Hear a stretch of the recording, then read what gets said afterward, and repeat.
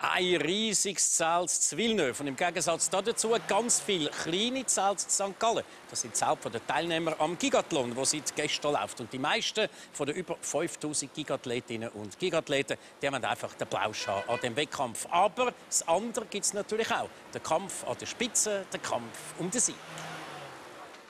Neoprenanzüge, wo man hinsieht. Am Bahnhof von St. Gallen. Der Bodensee noch weit weg, doch die Schwimmanzüge sind schon montiert. Morgens um 5 ein Extrazug bringt die Gigathleten nach Rorschach zum Schwimmstart. Höchste Zeit zum Aufwachen. Oder ob sich der junge Mann bloß die Schwimmtaktik zurechtlegt. Sicher sein, wo es lang geht. Und dann ab ins Wasser. 23 Grad hat der Bodensee. Drei Kilometer liegen vor den Gigathleten.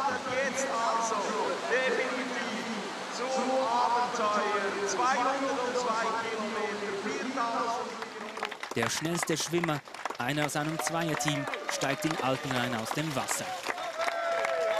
Nur wenige Sekunden hinter ihm folgt der erste Single. Es ist Titelverteidiger Roger Fischlin. Auf den Inline-Skates fährt Fischlin allen davon und vergrößert seinen Vorsprung Minute um Minute. Ja, gut, ja, ja. Mit 40 Kilometern pro Stunde braust er der Wechselzone in Buchs entgegen. Jetzt hat der Polizist 90 Kilometer auf dem Velo zu absolvieren, bis nach Oberried. Doch dann, das Velo steht still. Auf dem Faschinerjoch auf halber Strecke wird Fischlin neutralisiert. Der Grund? Ein Autorennen in der Umgebung. Zwangspause. Eine Viertelstunde später geht das Rennen für ihn weiter. Trotz Pause liegt er immer noch vor dem zweiten Markus Alpiger. Das größte Hindernis haben Fischlin und Co. aber noch nicht bezwungen. Zu Fuß geht's auf den hohen Kasten, das Dach des Gigathlons.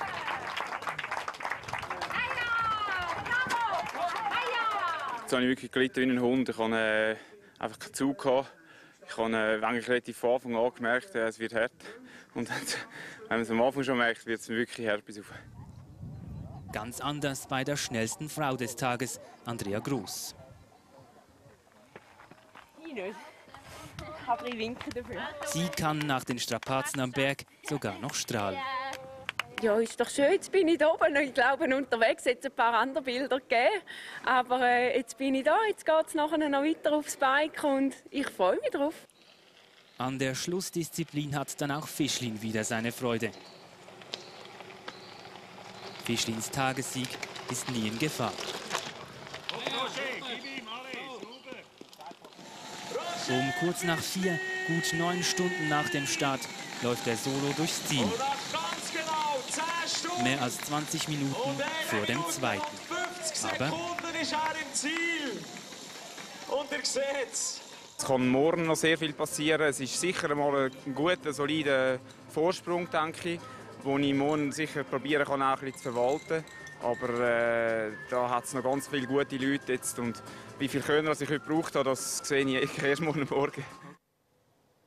Ja, und wenn schon der beste Roger Fischlin am Berg so gelitten hat, wie ist es dann echt am Gros der Teilnehmer gegangen? Der eine oder der andere wird sich sicher schon vom Übernahmen vom heutigen Tag äh, beeindrucken lassen Hilly Saturday hat er nämlich geheißen, also hügeliger Samstag. Aber was heißt da schon hügelig? Ein richtiger Kasten hat sich der Teilnehmerin weggestellt, eben der Höchkasten. 1800 Meter über Meer, die Bergspitze des Hohen Kastens. Und was für die Gigathleten heute fast noch wichtiger war, diese Bergspitze liegt 1400 Meter über dem Rheintal.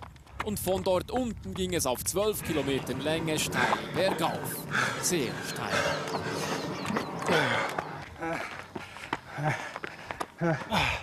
Hey, voll Power! Je härter die Aufgabe, desto wirkungsvoller die Glückshormone. Tatsächlich erreichten fast alle Gigathleten den hohen Kasten in so guter Verfassung, dass sie oben keine Pflege brauchen.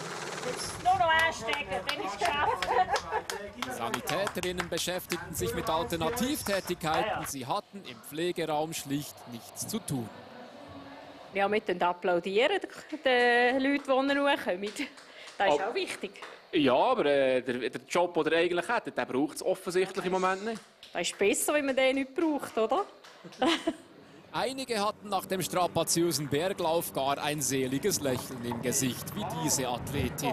Apropos Athletin, viele Teams schickten weibliche Mitglieder auf den höchsten Gigathlon-Punkt.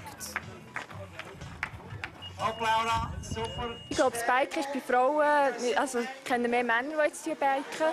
Rennvelo, Kollegin tut dafür jetzt Rennvelo fahren. Also das geht auch noch und Schwimmen ist halt recht schwierig. Das muss man von Anfang an machen. Und dann bleibt noch das Säckchen übrig. Wer oben ankam, wurde mit einem wunderbaren Panorama belohnt und erhielt eine für viele willkommene Zwangspause. Auf dem hohen Kasten wurde die Zeit angehalten. Denn auf der anderen Seite wieder runterrennen wäre dann doch zu viel gewesen. Zur Wechselzone in Brülisau ging es per Seilbahn was gar nicht so einfach war. Zu den Spitzenzeiten war der Ansturm auf die Gondeln größer als deren Kapazität. Deshalb gab es Zettel. Hier der mit der Aufschrift Gondel 3. Diesen Zettel erhielt, musste nur noch die entsprechende Durchsage abwarten. Team of 5 mit der Bahn Nummer 3 auf Bahn jetzt. Wartezeit für Nummer 4 in ca. 20 Minuten. Gondel um Gondel brachte die Gigathleten zurück ins Tal. Und es war manche Gondel nötig, denn noch lange kamen Läuferinnen und Läufer ins Zwischenziel auf dem hohen Kasten, ans Ende einer erinnerungswürdigen Teilstrecke. Ans Ende einer auf jeden Fall sehr anstrengenden Teilstrecke. Merci, merci vielmals. Ans Ende einer Teilstrecke, die sie als letzte beendete. Kurz nach 8 Uhr abends hatte die letzte Gigathletin den Berg bezwungen.